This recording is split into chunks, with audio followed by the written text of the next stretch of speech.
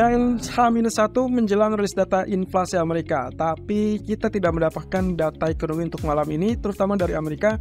Sedikit review saja, bahwasanya apa yang terjadi kemarin adalah pernyataan dari para pejabat Fed yang kecenderungannya secara mayoritas mereka tetap menilai inflasi yang tetap tinggi. Dan kemungkinannya kalau misalkan kita bicara seperti itu, berarti ada jaminan bahwa Fed masih tetap akan menaikkan suku bunga. Nah, ini yang akan kita coba ulas apa yang diperlukan oleh bank sentral supaya mereka menghentikan jalur kenaikan suku bunga tersebut.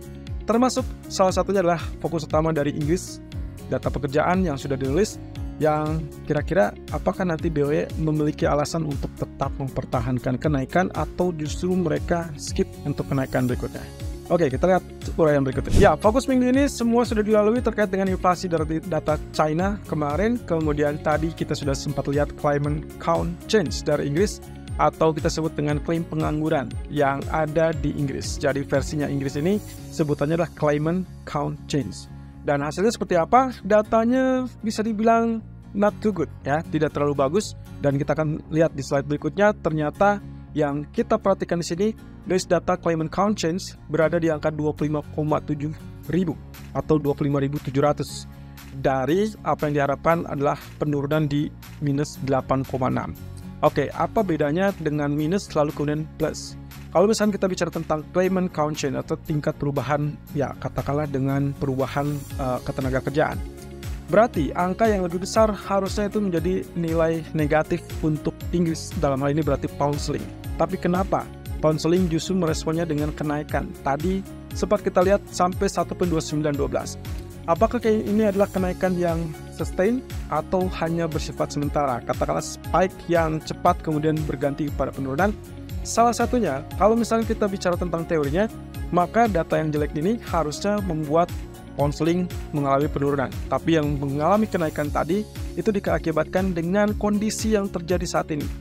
Semakin tinggi tingkat ataupun katakanlah dengan klaim atau benefit claim yang terjadi di Inggris atau tingkat permintaan yang terjadi di Inggris, maka kemungkinan posisinya mau tidak mau itu menandakan tenaga atau pasar tenaga kerja yang masih tetap solid. Dan itu berarti mengharuskan BOE atau Bank Sentral untuk tetap menaikkan suku bunganya dan berarti diharapkan lebih agresif. Nah itulah pula yang membuat kenapa pound sterlingnya mengalami kenaikan, bukan mengalami penurunan. Sementara kalau misalkan tidak ada kasus inflasi yang terlalu tinggi, maka seharusnya ini dengan mudahnya akan membuat ya bisa dibilang yang lebih sehat untuk ekonomi Inggris. Nah, jadi kalau misalnya kita perhatikan lagi unemployment rate-nya naik ke 4%, tingkat pengangguran 4% itu harusnya jelek untuk suatu negara. Tapi lagi-lagi, Inggris menginginkan atau mengharapkan klaim ataupun tingkat penganggurannya berada di atas dari target mereka supaya nantinya menekan tingkat permintaan sehingga inflasi pun bisa tertekan kemudian. Tapi apa pun itu, ini adalah data yang cukup ambigu karena lagi-lagi PR-nya adalah terkait dengan tingkat pekerjaan yang harus turun supaya nantinya tingkat permintaan juga turun. Nah, Inggris tidak sampai sini. Hari Kamis kita akan melihat data yang kita sebut dengan GDP atau tingkat pertumbuhan. Sementara besok itulah data besar bagi Jerman dan juga Amerika tentunya. Rilis datanya adalah inflasi. Semua akan tertuju kepada inflasi Amerika karena mau tidak mau semua bank sentral juga akan memperhatikan apa yang dilakukan oleh Fed. Nah, kalau Fed-nya bisa menghentikan laju kenaikan suku bunga, maka diharapkan apa yang terjadi dengan pound sterling adalah kebalikannya. Artinya, dolar mungkin bisa terhambat untuk melakukan penurunan, tapi sementara itu pound sterling akan berjaya untuk mengalami kenaikan karena di satu sisi bank sentralnya masih tetap menaikkan suku bunga. Tapi kalau kebalikannya, kalau ternyata inflasi Amerika masih tetap tinggi, Fed tetap menaikkan suku bunga, mau tidak mau semua akan fokusnya adalah dolar. Stronger dolar itu akan jelek untuk pound sterling. Kita tinggal lihat, apakah 1.2880 akan bertahan sebagai resisten, lalu kemudian dia kembali turun, atau mungkin dia akan tetap sampai ke 1.2950-an.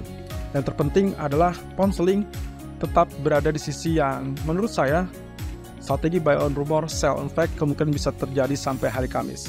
Oke, kita beralih kepada China. Yang kabar bagusnya adalah mereka kembali meningkatkan dukungan atau kita bilangnya stimulus untuk sektor properti yang bermasalah. Tentunya dua regulator keuangan utama China dari PBOC maupun NFRA mengatakan bahwa mereka menekan kepada lembaga keuangan untuk melonggarkan persyaratan bagi perusahaan properti. Hal ini tentunya tujuannya adalah untuk memastikan pembangunan perumahan yang ada. Nah, tapi hati-hati.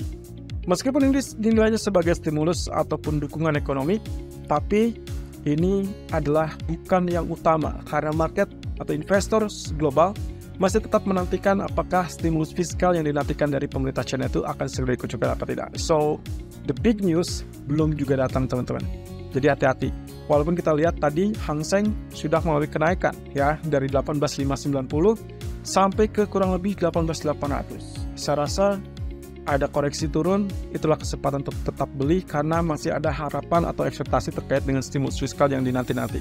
Kita belum tahu sampai kapan tapi yang jelas Juli, Agustus, September adalah periode di mana diperkirakan pemerintah China akan kucurkan stimulus tahapan kedua. Karena dalam satu tahun biasanya mereka melakukannya dua kali, baik itu di awal tahun atau di pertengahan tahun.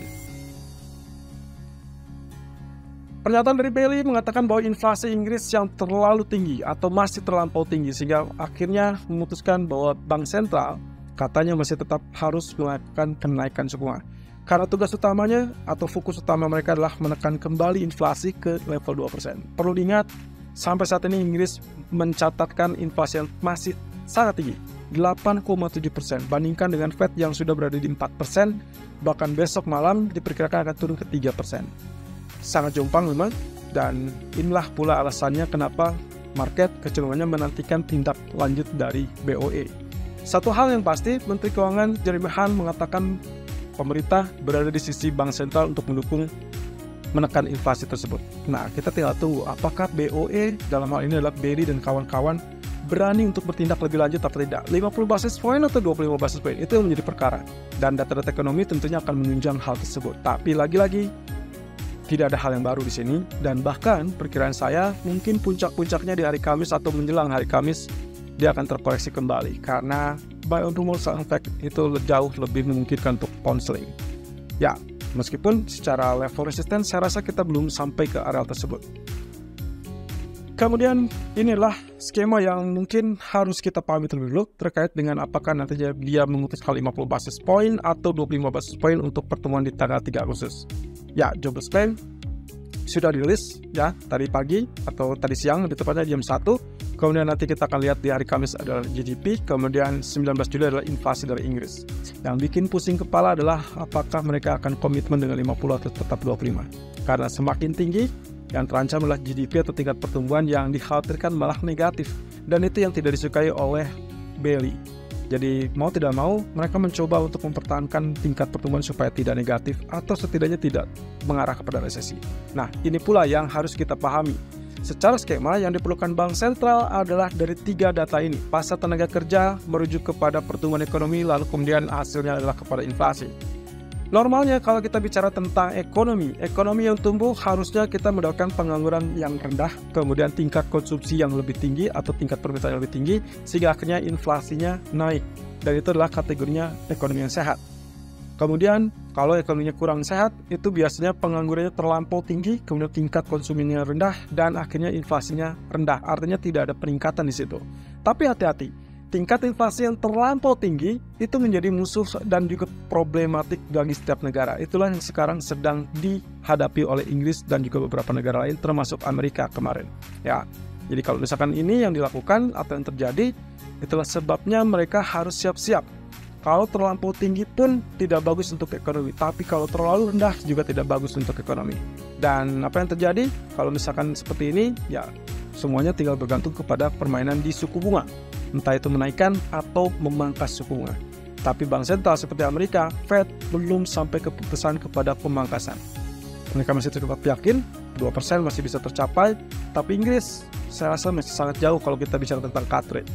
Jadi mereka masih tetap harus menaikkan untuk menekan inflasi yang terlampau tinggi. So, solusinya adalah Inggris masih harus tetap menaikkan suku bunga. Sementara Amerika, semakin dia dekat dengan inflasi yang lebih rendah, seharusnya mereka tidak melanjutkan kenaikan suku bunga. Tapi seberapa rendah?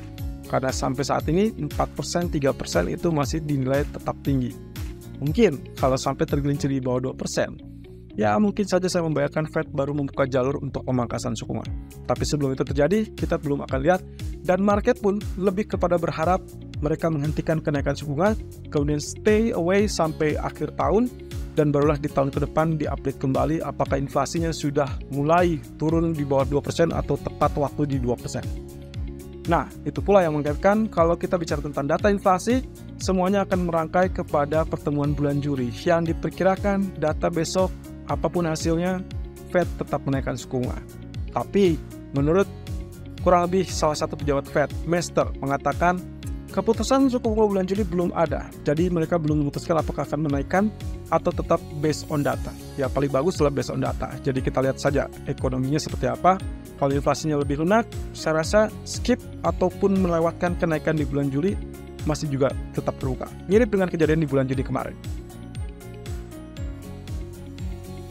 Satu kabar yang cukup bagus dari harga minyak. Menurut bosnya IEA, ya Fatih Birol mengatakan kemungkinan tingkat permintaan minyak dari China dan juga negara berkembang lainnya masih tetap tumbuh dan diperkirakan H2 atau paruh waktu kedua di 2023 ini pasar minyak kemungkinan akan ketat. Terutama didukung pula oleh pemangkasan produksi dari negara-negara produsen. So, inilah kabar positif dan kita sudah melihat 73.50 walaupun lagi-lagi 74 dolar per barel belum ditembus dan kita perlu dorongan di atas level tersebut supaya setidaknya rally sampai 80 tetap terbuka. Ya, pada akhirnya sampai nanti malam diharapkan market akan tetap bergerak sideways terutama untuk minyak dan juga untuk ya kita katakan komoditi emas karena kemungkinan semua fokusnya adalah menuju kepada data inflasi. Mungkin juga termasuk pasar saham. Kita belum akan lihat pergerakan yang terlalu sporadis dan diharapkan support resisten masih tetap saling mendukung. Nanti kita akan lihat dari sisi teknikalnya.